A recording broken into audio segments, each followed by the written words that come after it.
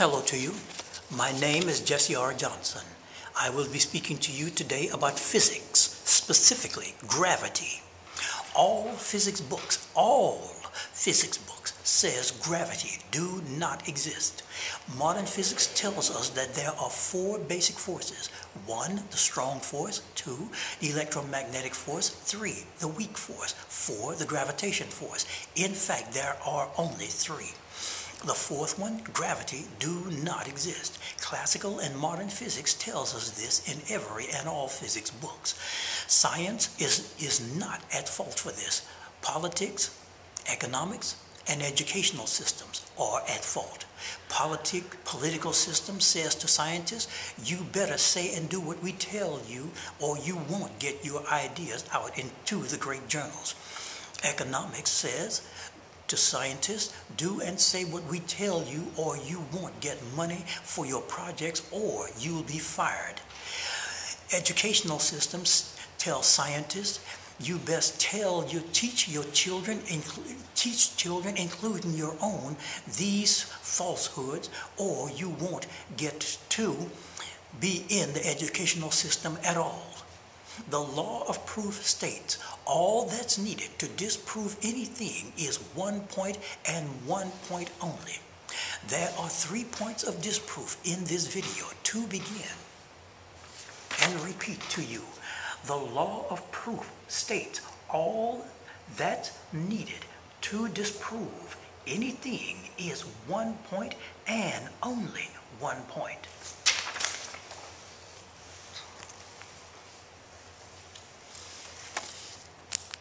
Now, point number one.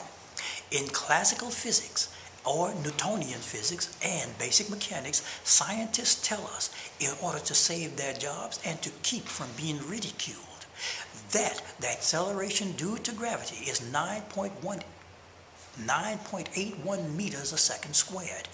This equals approximately 32 feet a second squared. In other words, 9.18 meters times 39 inches, which is approximately one, in, one meter, equals 382.6 inches divided by 12 inches, which is one foot, equals 31.88 feet or 31.9 feet or about 32 feet. Now, I'm going to do a demonstration this here is a smooth, round spike nail.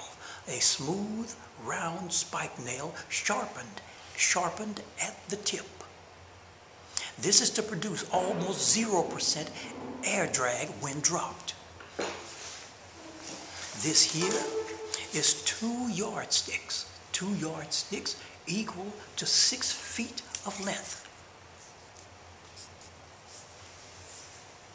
Equal to six feet of length. Now, I want everyone to determine for themselves how long it takes the spike nail to reach the floor from six feet up. Hold on, please. I'm going to move the camera.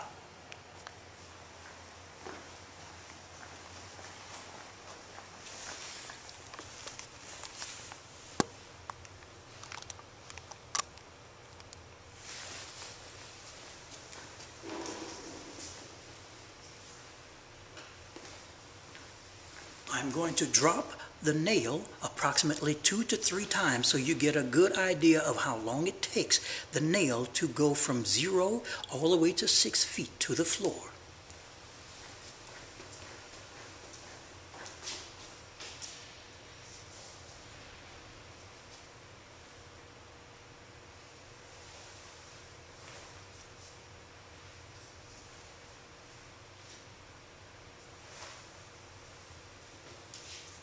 어?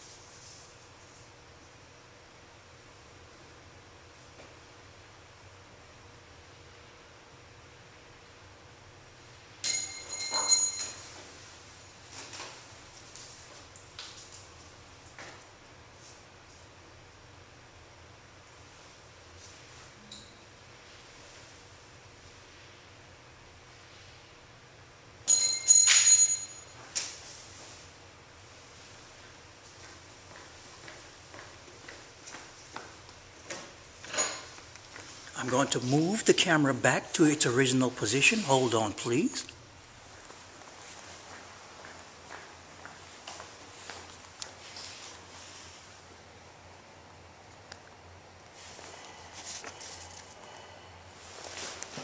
Now,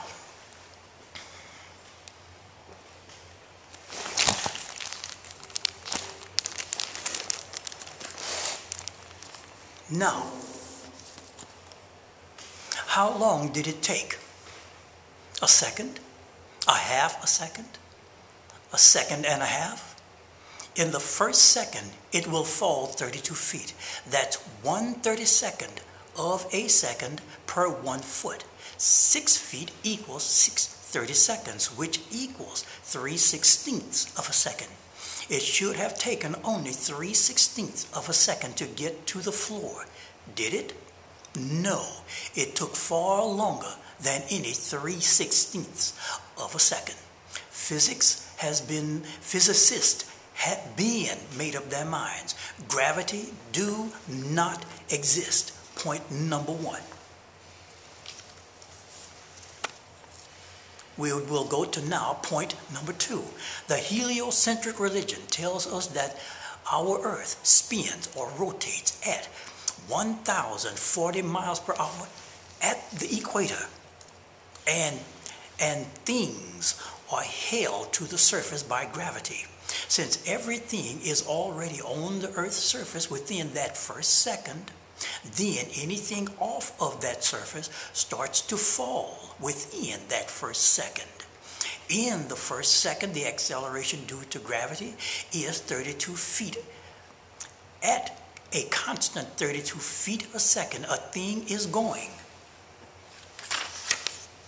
Is going 32 times 60 seconds, which equals 1,920 feet times 60 minutes, that is, which equals 115,200 feet, and 115,200 feet divided by 5,280 feet, one mile in other words, equals 21.8 miles per hour.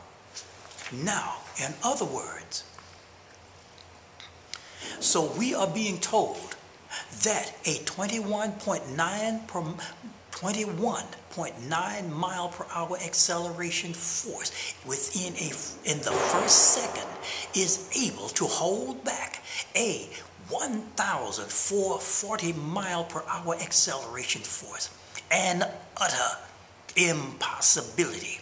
Physicists have been reaching out to us for over 100 years for us to see the trouble they're in. Gravity do not exist.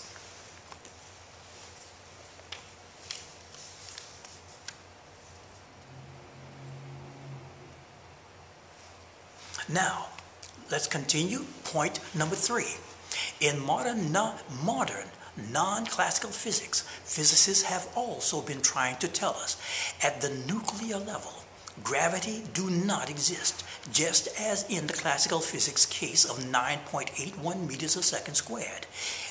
Here is an illustration. This information is taken from this volume. This is a university level physics. University level physics. This is non-classical physics beyond Newton, Newton's view.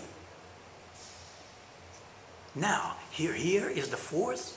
Here's the relative strength of the different forces. The strong force has a strength of unity, one. The, electro, the electromagnetic force is one one hundredth of that one, or 10 to the minus second power. The weak force is 10 to the minus 6 power, or 1 one millionth of one of that of the strong force. Now I want you to look at the gravitational strength. Gravity, 10 to the minus 39th power. You, no human can conceive or comprehend that size number, that size quantity, that force. It, gravity that is, does not exist. At 10 to the 30 minus 39th power, a magnitude that is physically incomprehensible. once again. This one here is university level physics. Here is physics, second edition, in, written in 2000, copyright 2004, page 1078. Once again, the force, the relative strength on this side. Once again, the strong force, unity, one. Electromagnetic, 10 to the minus 2 power. Weak force, 10 to the minus 6 power. And they are in agreement, agreement, both volumes. But now look at gravity at the bottom here. It is 10 to the minus 43rd power. If you cannot conceive or comprehend 10 to the minus 39th power, you certainly cannot conceive of 10 to the minus 43rd power. Even if not you, me, or any other human is remotely able to comprehend the size of this number. You think you can, you can't. This number is off the scale. Even if the earth were a solid sphere, one trillion miles in radius, you still wouldn't be able to detect a force this small. Gravity do not exist. Now, you may ask, what holds us down? What holds you down to the earth and the earth itself together is the electromagnetic force. I want to thank you and everyone else for watching, and I want everyone to have a good day.